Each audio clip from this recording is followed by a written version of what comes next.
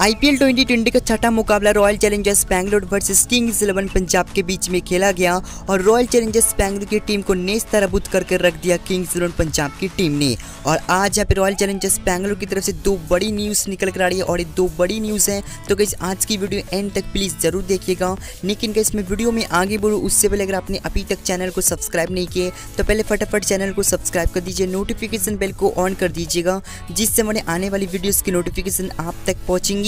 और किस please channel को सब्सक्राइब कीजिएगा क्योंकि 80 परसेंट लोग जो कि होते हैं चैनल को सब्सक्राइब नहीं करते तो पहले आप लोग चैनल को सब्सक्राइब कीजिए। नोटिफिकेशन बेल को ऑन कीजिएगा, जिससे आप हमें याद करें या ना करें। लेकिन नोटिफिकेशन आपको हमारी याद दिलाती रहेगी। तो गाइस चलिए आज का वीडियो स्टार्ट करते हैं। गाइस मैं वीडियो में आगे बढ़ूँ, उससे पहले बताना चाहूँगा फैंटेसी पावर इलेवन एप्लीकेशन के बारे में। गाइस इस एप्लीकेशन में कॉन्टेस्ट चल रही है, जिसमें आप लोग डेली के डेली आईफोन 11 प्रो जीत सकते हो। तो गाइस जल्दी जाइए एप्लीकेशन को डाउनलोड कीजिए। और अगर आप लोग इस एप्लीकेशन को डाउनलोड करते हो, मेरे लिंक से, मेरा रेफर कोड यूज़ करते हो तो किस आपको मिलेंगे हंड्रेड रुपीज़ का बोनस और उस बोनस को आप लोग हंड्रेड परसेंट यूज़ कर सकते हो कॉन्टेस्ट में। तो कैसे यहाँ पे दिख रहा होगा आप सभी को आईफोन 11 प्रो और उसके बाद आप लोग हंड्रेड परसेंट बोनस को यूज़ कर सकते हो एंड ट्वेंटी रुपीज़ का आपको एंट्री फ़ी देना है एंड हंड्रेड परसेंट यूज़ कर सकते हो बोनस को लिखा है एंड आईफोन इलेवन प्रो आप लोग यहाँ पे जीत सकते हो। और सिंपली आपके अकॉर्डिंग आपको प्लिंग इलेवन बनानी है तो गई जैसे कि मैं यहाँ पे बना रहा हूँ, जो कि बहुत ही आसान है तो आप भी अपने अकॉर्डिंग यहाँ पे अपना प्लिंग इलेवन बनाइएगा। तो आपको लिंक डिस्क्रिप्शन पे मिल जाएगा। इस एप्लीकेशन का तो जल्दी जाइए एप्लीकेशन को डाउनलोड कीजिए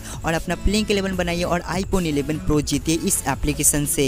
तो कैसे हम बात करते हैं सबसे पहली न्यूज़ के बारे में। तो कैसे सबसे पहली न्यूज़ निकल कर आ रही है रॉयल चैलेंजर्स बैंगलोर की फाइन को। लेके तो कैसे पे रॉयल चैलेंजर्स बैंगलोर के कप्तान यानी कि विराट कोहली के ऊपर गई पे स्लो ओवर रेट यहाँ पे लगा दिया गया है। और अंपायर की तरफ़ से आज यहाँ पे रिपोर्ट्स निकल कर आ रही कि अंपायर्स ने यहाँ पे रॉयल चैलेंजर्स बैंगलोर के कप्तान के ऊपर यहाँ पे स्लो ओवर रेट लगा दिया है और इनको यहाँ पे फाइन देने के लिए भी बोला है विराट कोहली को 12 लाख रुपए का जुर्माना भरना पड़ेगा। जी हाँ का इस 12 लाख रुपए का जुर्माना भरना पड़ेगा विराट कोहली को। हालाँकि इनके लिए तो कुछ ऐसी बड़ा रकम नहीं है, लेकिन हमारे लिए बड़ा रकम है और यहाँ पे विराट कोहली को 12 लाख रुपए भरना पड़ेगा और जो कि वो भर देंगे। और मैं आपको बता दूँ, जो लोग बोल रहे कि विराट कोहली के ऊपर तीन मैचों का बैन भी लगाया जाएगा तो ऐसा कुछ नहीं है। इसके लिए कि कोई अभी ऑफिशियली न्यूज़ निकल कर नहीं आई है, सिर्फ़ उनको ऊपर यहाँ पे स्लो ओवर रेट लगाया गया है, जो कि वो बारह लाख रुपये उस जुर्माना को भर देंगे तो कुछ सब कुछ यहाँ पे सॉर्ट आउट हो जाएगा। एंड जो लोग बोल रहे कि तीन मैच का विराट कोहली के ऊपर यहाँ पे बैन लगाया जाएगा तो ऐसा कुछ नहीं होने वाला। तो कैसे हम बात करते हैं दूसरी न्यूज़ के बारे में तो दूसरी न्यूज़ निकल कर आ रही है रॉयल चैलेंजर्स बैंगलोर की क्रिस मॉडिस की तरफ़ से तो क्रिस मॉडिस पिछले दो मुकाबले में हम सभी को नहीं दिखे और हम सभी को लग रहा था कि क्रिस मॉडिस को रॉयल चैलेंजर्स बैंगलोर की टीम ने यहाँ पे नहीं खिलाया।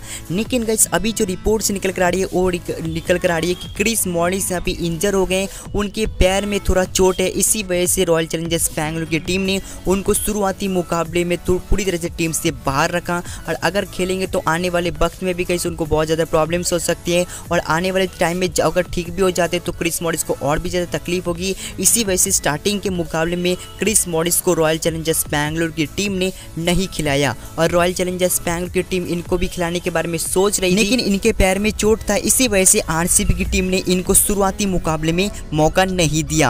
तो गैस, इनके पास एक ऑप्शन था कि मोइन अली को ही खिला सकते थे, लेकिन मोइन अली को यहाँ पे प्लेइंग इलेवन में नहीं लाए। रॉयल चैलेंजर्स बैंगलोर की टीम ने। लेकिन गई तीसरे मुकाबले में आप सभी को रॉयल चैलेंजर्स बैंगलोर की प्लेइंग इलेवन में पूरी तरह से यहाँ पे उथल पुथल देखने को मिलेगा, सब कुछ बदलने वाली है। शायद उमेश यादव आपको यहाँ पे प्लेइंग इलेवन से बाहर नज़र आएँगे, जोसुल फ्लिपी भी आप सभी को बाहर नज़र आएँगे, वॉशिंगटन सुंदर भी बाहर नज़र आने वाले हैं। मेरे हिसाब से तीन बड़ खिलाड़ी जो कि आप सभी को बाहर नज़र आने वाले हैं। मोइन अली को मौका मिलेगा, मोहम्मद सिराज को मौका मिल सकता है। और किस वॉशिंगटन सुंदर की जगह कैसे एक स्पिनर को लाएगी रॉयल चैलेंजर्स बैंगलोर की टीम यहाँ पे किसी को मोइन अली को मौका मिलना चाहिए बट देखते हैं आने वाले टाइम में तीसरे मुकाबले में हम सभी को रॉयल चैलेंजर्स बैंगलोर की प्लेइंग इलेवन कैसी देखने को मिलती है। तो वैसे दो बड़ी न्यूज़ निकल कर आ रही थी रॉयल चैलेंजर्स बैंगलोर की तरफ़ से। तो कैसे अगर आपको वीडियो पसंद आई तो वीडियो कीजिए लाइक शेयर और हमारे चैनल को सब्सक्राइब करके नोटिफिकेशन बेल को ऑन कीजिएगा जिससे हमारे आने वाली वीडियोस की नोटिफिकेशन आप तक पहुंचेंगी उसको आप सबसे पहले देख पाएँगे। तो कैसे मिलते हैं नेक्स्ट वीडियो में तब तक के लिए बाय बाय